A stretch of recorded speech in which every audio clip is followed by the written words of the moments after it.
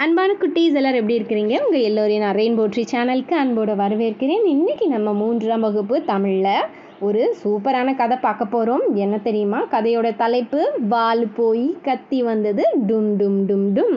பார்க்கலாமா?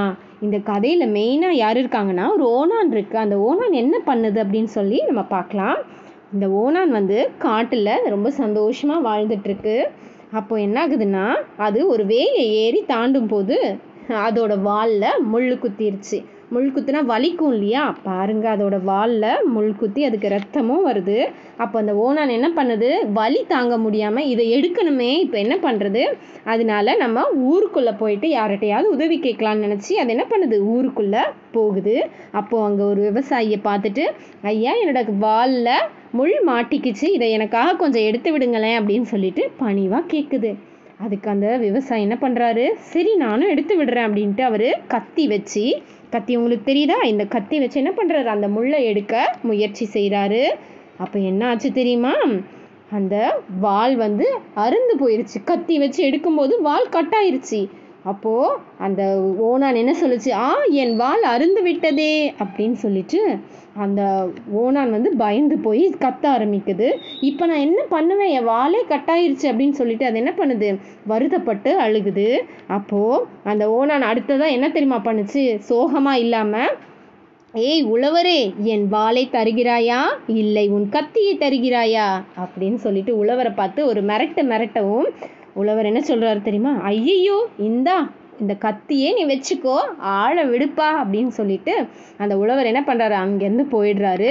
ஓனானுக்கு ஒரே சந்தோஷமாக போயிடுச்சு அங்கேருந்து நடந்து வரும்போது காட்டில் ஒருத்தர் மரம் வெட்டிட்டு இருக்காரு. அந்த மரம் வெட்டியை பார்த்துட்டு அது சொல்லுது அவர் கோடாரி வச்சு வெட்டுறாரு. ஆனால் ஓனான் என்ன சொல்லுது தெரியுமா? இந்தாங்க இந்தாங்க இந்த கத்தி வச்சு வெட்டுங்க. நீங்கள் ரொம்ப கஷ்டப்பட்டுட்டு இருக்கீங்க அப்படின்னு சொல்லிட்டு சொல்லவும் அவரும் என்ன பண்ணுறாரு அந்த கத்தியை வாங்கி மரத்தை வெட்ட ஆரம்பிக்கிறாரு.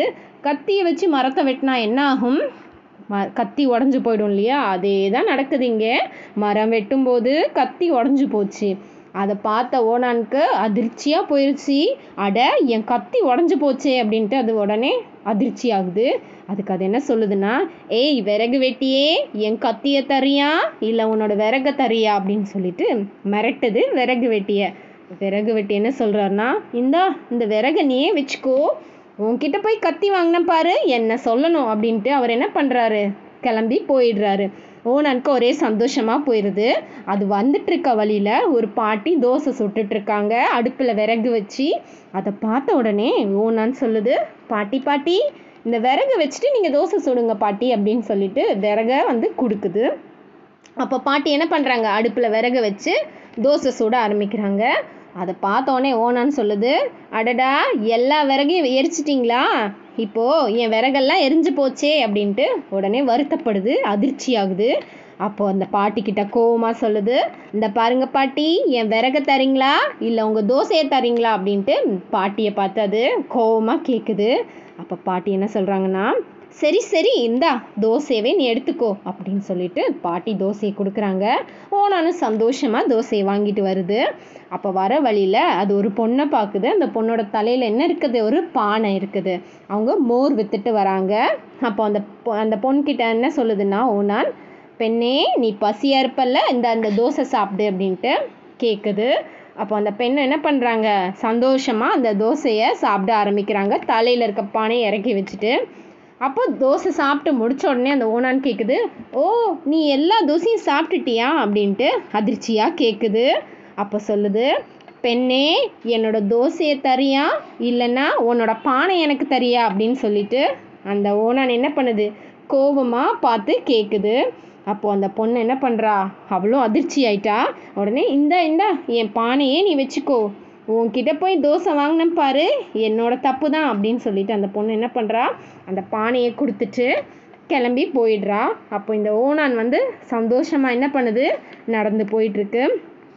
போகிற வழியில் அது ஒரு தோட்டக்காரரை பார்க்குது தோட்டத்துக்கு அவர் என்ன பண்ணிகிட்ருக்காரு தண்ணி ஊற்றிட்டுருக்காரு அப்போது அவரை பார்த்த உடனே இந்த ஓனான் சொல்லுது தோட்டக்காரரே நீங்கள் வந்துட்டு தண்ணி ஊற்றுறதுக்கு இந்த பானையை வச்சுக்கோங்க. என்னோடய பானையை எடுத்துக்கோங்க. நீங்கள் இது உங்களுக்கு ஈஸியாக இருக்கும் அப்படின்ட்டு அந்த பானையை தோட்டக்காரர்கிட்ட இந்த ஓனான் கொடுக்குது. அவரும் அந்த பானையை வாங்கி தண்ணி ஊற்றிட்டுருக்காரு ஆனால் என்ன ஆச்சுன்னா தண்ணி ஊற்றிட்டு இருக்கும்போது பானை கீழே விழுந்து பானை உடஞ்சே போச்சு. அப்போ அந்த ஓனானுக்கு வந்துச்சு பாருங்க கோவம். என்ன சொல்லுச்சுன்னா ஆ என் பானை உடஞ்சிட்டா? நீ இப்போ என்ன பண்ணுறேன் பாரு.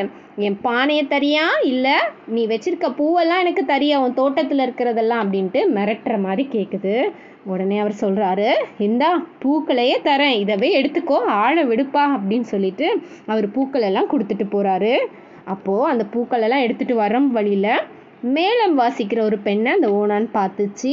பார்த்துட்டு அது சொல்லுது இந்தா பெண்ணே இந்த பூக்களெல்லாம் வச்சுக்கோ. நீ வச்சுக்கிட்டா உனக்கு ரொம்ப நல்லா இருக்கும் அப்படின்னு சொல்லிட்டு கொடுக்குது.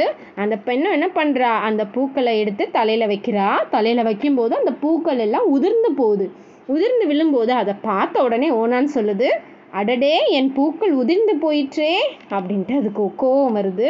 அதிர்ச்சியாகி சொல்லுது பெண்ணே என் பூக்களை தருகிறாயா? இல்லை உன் மேளத்தை தருகிறாயா? அப்படின்னு சொல்லிட்டு கேட்குது கோபமாக அப்போ அந்த பெண் என்ன சொல்கிறா பயந்து போய் சரி சரி இந்தா மேளத்தையே வச்சுக்கொள் ஆழ விடு அப்படின்னு சொல்லிட்டு மேளத்தை அந்த ஓனான் கிட்ட கொடுத்துட்டு கிளம்பி போயிடுறா. மேளத்தை அந்த ஓனான் வாங்கிக்கிச்சு. வாங்கிக்கிட்டு என்ன பண்ணுது தெரியுமா?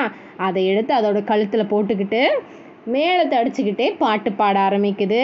என்ன பாட்டு தெரியுமா உங்களுக்கு?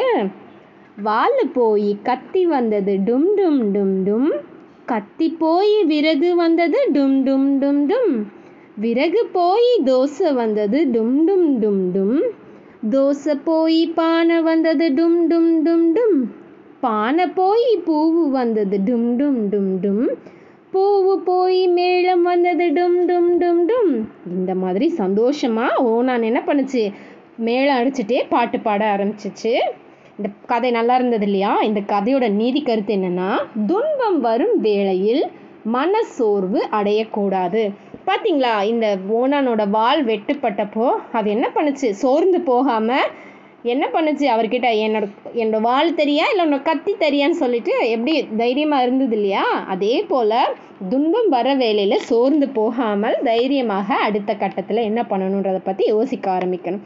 சரியா? துன்பம் வரும்போது சோர்வு அடையக்கூடாது. சரியா?